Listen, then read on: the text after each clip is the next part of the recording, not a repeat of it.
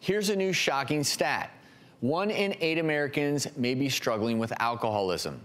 Just know that no matter how bad things get, you can always turn your life around. Check out this story. I drink all day long, every day. I wake up in the morning and buy a fifth vodka, and I'll have that all day. The first time I had to call the ambulance on my mom. I had just turned 18. The next day, the doctor said he has never seen someone so intoxicated without being in a coma. About eight months ago, I found out that my liver is inflamed. I don't have cirrhosis yet, but if I keep it up, I will. I've lost everything for alcohol. The people that I love are giving up on me. They're ready to.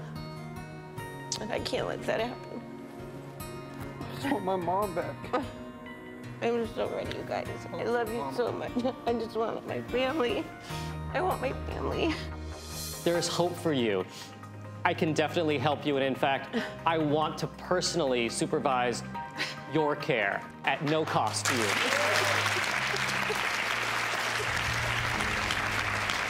You've got a car right outside. We're going to take you Yeah. right now. So let's do this. Come on, everyone. Thank you, Beth. Good luck. Thank you. It's been five months now since that intervention by Elizabeth's family, and now she's here today to give us an update on her health. You guys want to see how she's doing? For sure. Well, let's give Elizabeth a warm welcome. Come join us.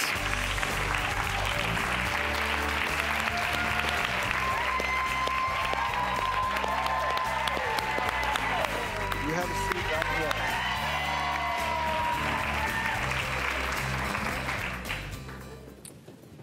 Wow, Elizabeth. I'm just so happy because I'm not kidding. I was thinking about you the other day and wondering how you were doing in five months. And it sure looks like you're doing great. How are, how are you doing? How are you really doing? I'm doing great. I'm doing awesome. transformative five months. Mm-hmm. And I mean, what's remarkable to me is, you know, David, who's Elizabeth's ex-husband, is here and certainly a part of that intervention.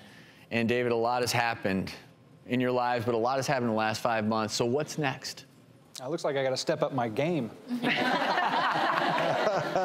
I'm just really excited to get her back.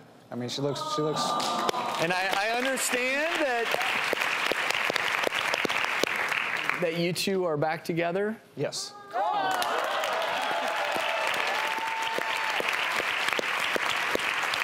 You know, and I was really struck, Elizabeth, when you were here the first time by your daughter and son and the love they had for you and how much they missed their mom when, when alcohol would take over your life. And we actually have one other special person from Elizabeth's last time on the show. I just mentioned her.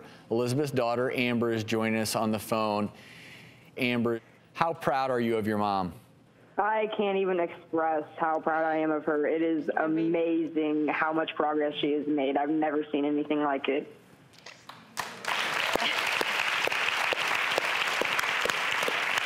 Is how does it feel having your, you said we just want our mom back. How does it feel having your mom back? It is very surreal. I never really thought, to be honest, that I would see my mom sober, and seeing her sober is the best thing that could ever happen to my family.